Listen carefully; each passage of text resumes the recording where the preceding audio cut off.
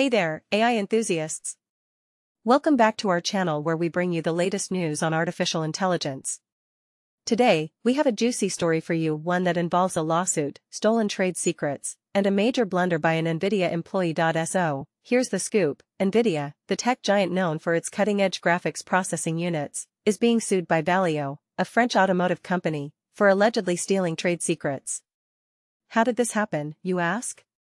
Well, it all started with a screen sharing session gone wrong. During this session, an NVIDIA employee accidentally revealed Valeo's source code files. And here's the twist this employee used to work for Valio, which has led to allegations that they stole Valeo's proprietary technologies and took them to NVIDIA. In fact, this employee has already been convicted of infringement of business secrets in a German court. Talk about a major blunder. Now, NVIDIA is denying any interest in Valeo's code or trade secrets. They claim that this was an honest mistake and that they have no intention of using or benefiting from Valeo's technology. But Valeo isn't buying it, and they're seeking justice through this lawsuit. Now, let's dive into the comments section, where things get interesting. One commenter raises an important question, what motivates someone to steal code? Well, the answer is simple, it's all about gaining a competitive edge.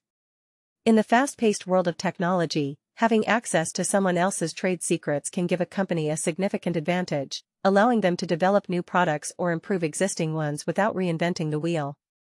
But stealing code comes with its risks. As we can see in this case, the consequences can be severe lawsuits, damaged reputations, and potential financial losses. It's a reminder that ethical behavior and respect for intellectual property are crucial in the tech industry. Another commenter brings up an interesting point about open source software. They wonder if incidents like this could lead to a decline in open source contributions, as developers may become more cautious about sharing their code. It's a valid concern, as incidents like this can erode trust within the developer community.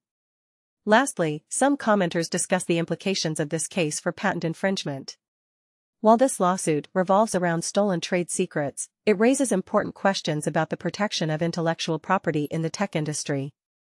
Companies must ensure that their patents are secure and that they have robust measures in place to prevent any unauthorized access to their proprietary technologies. And that's a wrap on this intriguing story. Remember, folks, in the world of technology, trust and integrity are key. Let's hope that justice is served and lessons are learned from this incident. Stay tuned for more AI news, and don't forget to hit that subscribe button for all the latest updates. Until next time, happy coding!